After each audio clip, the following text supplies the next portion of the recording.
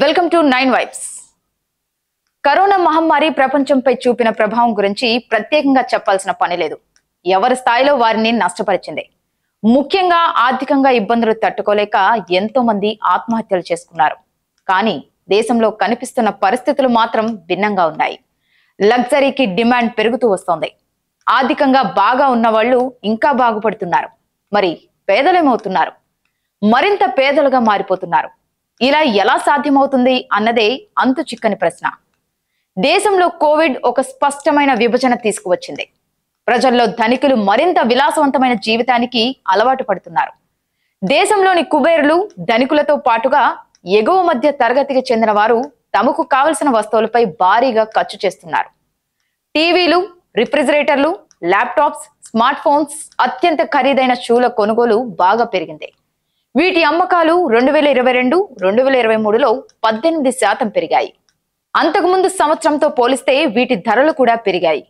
Personal care ఉత్పత్తుల అమ్మకాలు చూస్తే యాభై రూపాయల కన్నా తక్కువ ధర ఉన్న ప్యాక్ అమ్మకాలు ఆరు పాయింట్ ఎనిమిది శాతం తగ్గాయి. లగ్జరీ వస్తువులకే డిమాండ్ ఎక్కువగా ఉంది. ఢిల్లీలో అత్యంత ఖరీదైన రోలెక్స్ షోరూంలో డిమాండ్కు తగినట్లు వాచ్లు అందించలేకపోతున్నారు. కార్ల కంపెనీ మెర్సిడైజ్ బెంజ్ కూడా రెండు వేల ఇరవై రెండు రెండు వేల ఇరవై మూడు ఆర్థిక సంవత్సరంలో రికార్డు స్థాయి సేల్స్ నమోదు చేసింది. భారత్లో ఉన్న ధనికులు బిలీనియర్లు లగ్జరీ వస్తువులపై భారీగా ఖర్చు చేస్తున్నారు. కార్లు వాచ్లు హ్యాండ్ బ్యాగ్లపై లక్షల కోట్లు ఖర్చు చేస్తున్నారు. మరోవైపు అత్యంత విలాసవంతమైన గృహాలను వందల కోట్లు పోసి కొంటున్నారు నిజానికి కోవిడ్ తర్వాత ధరలు అనూహ్యంగా పెరిగిపోయాయి. ఈ పెరుగుదల వల్ల లాభపడింది ఎగువ మధ్యతరగతి వారు మాత్రమే. పెరుగుతున్న జీవన వ్యయంతో పేదలు మధ్యతరగతి ప్రజల జీవన ప్రమాణాలు మరింతగా దిగజారిపోతున్నాయి. ఈ కారణంగా ఖర్చులు కూడా గణనీయంగా తగ్గించుకుంటున్నారు. దేశంలోని వినియోగదారుల్లో అరవై మూడు శాతం మంది తమకు అవసరం లేని వాటిపై ఇతర సేవలపై ఖర్చును తగ్గించుకుంటున్నారని సర్వేల్లో వెల్లడైంది. కోవిడ్ తర్వాత గ్రామీణ ప్రాంతాల్లో డిమాండ్ బాగా పడిపోయింది. సంపన్న వర్గాల నుండి కొనుగోళ్ళు పెరిగాయి. కోవిడ్ సమయంలో పేద మధ్యతరగతి వారి ఆదాయానికి భారీగా గండిపడింది.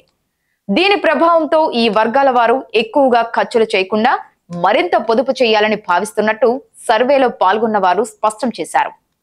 కోవిడ్ సమయంలో సరైన షాపింగ్ చేయలేకపోయిన ధనిక వర్గం మాత్రం ఇప్పుడు పూర్తి స్థాయిలో చెలరేగిపోతోంది. గణాంకాలు కూడా షాపింగ్ పై భారీగా ఖర్చు చేస్తున్నారని చెబుతున్నాయి. పేదలు ఇంకా కోవిడ్ ప్రభావం నుంచి కోలుకోలేక మరింత పేదరికంలోకి జారిపోతున్నారు అనేది నిజం. దీని ప్రభావం వినియోగదారుల మార్కెట్ శైలిపై కూడా పడింది.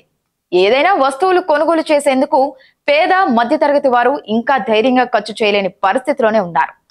టూ వీలర్ రూరల్ సేల్స్ పదహారు శాతం పడిపోయాయి. ఎఫ్ఎంసీజీ ఉత్పత్తుల కంపెనీలు మాత్రం ఆశాభావంతో ఉన్నాయి. అదే సమయంలో దేశంలోని ధనిక వర్గం మాత్రం హై అండ్ లగ్జరీ వస్తువులను కొనుగోలు చేసేందుకు ఏ మాత్రం వెనుకాడడం లేదు.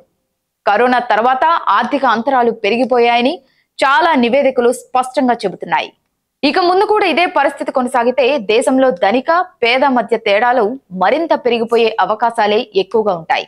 తద్వారా ఇది దేశంలో అస్థిరతకు కారణమయ్యే అవకాశాలు పుష్కలంగా ఉన్నాయి. చూశారు కదా ఇది ఇవాల్టి స్పెషల్ స్టోరీ. మరొక స్టోరీతో మళ్ళీ కలుద్దాం. చూస్తూనే ఉండండి నైన్ వైబ్స్. ఇలాంటి మరిన్ని అప్డేట్స్ కోసం please like share subscribe to nine vibes